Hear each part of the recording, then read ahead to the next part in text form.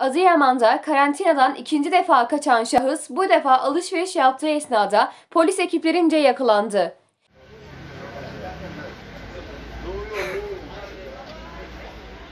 Birkaç gün önce babasını koronavirüsten dolayı kaybeden, annesi ise yoğun bakım ünitesinde olan ve zihinsel engelli olduğu öğrenilen Burhanettin T, önceki gün karantina altında olduğu Sümerevler mahallesindeki evinden kaçmış, şehir içi yolcu otobüsüyle kent merkezine gelmiş ve burada polis ekiplerince yakalanmıştı.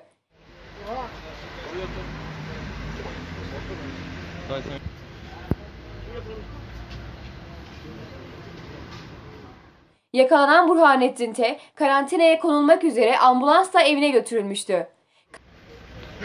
Sen biraz ağır. Karantinaya götürülen Burhanettin T, bu defa yine şehir içi yolcu otobüsüne binerek kent merkezine geldi. Durumu fark eden vatandaşlar polis ekiplerine bilgi vererek şahsın yakalanmasını istedi.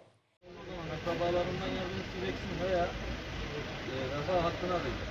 Şahıs her yerde arandığı esnada Kapcami Mahallesi Tarihi Oturakçılar Pazarı içerisinde alışveriş yaparken yakalandı. Kaç gün oldu? Bir ayakkabı dükkanında alışveriş yaparken yakalanan Burhanettin T, olay yerine gelen sağlık ekipleri tarafından çağrıldı.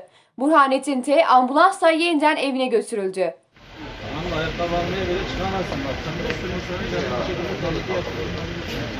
İkinci defa karantinadan kaçan ve alışveriş yapan Burhanettin T, aynı zamanda vatandaşların da tepkisine neden oldu.